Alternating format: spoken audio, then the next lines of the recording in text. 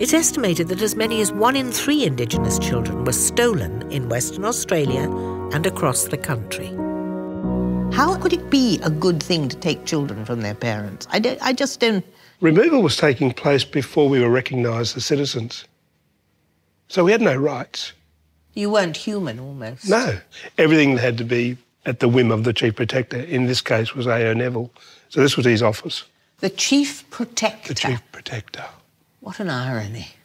Complete strangers went into houses and said, We've come to remove your children and your children are going to, to, to the mission.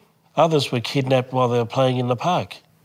Oh my God. And, you know, sadly, some of those kids never saw their parents ever hmm. again. Jim tells me there were almost 200 missions in Western Australia, more than double the amount of any other state. And he and Tony are taking me to see one of them, three hours south of Perth. Hidden away from the rest of society, many children suffered abuse and neglect at the hands of their supposed carers. Mary, Marribank. Marribank Baptist Mission. Gosh, it's a bleak old place. And I'm shocked to learn this is where Tony himself grew up. Well, I reckon I cried most of the way coming here. How old were you? I was three years of age in 1970 when I came Three here. years of age? Yeah. Well, they thought what they were doing was in my best interests. I guess what I felt was my heart being shattered, not knowing whether I'll see my mother again or my grandparents. Three? Some families have their children snatched just after birth.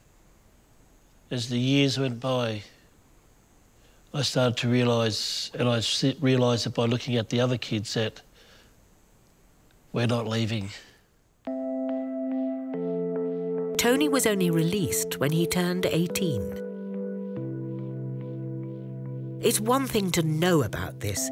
It's a completely different experience being here and seeing it face to face, which is why Jim and Tony want the site preserved. I mean, it's a stench that is um, part of the history of this country. I am profoundly shocked, deeply saddened, and very, very angry. Getting angry is not going to resolve it, though, for us. It's Australia's history. We need to be able to work through this in the spirit of reconciliation. But we won't get there unless there's truth, justice and healing. We've got to heal from this.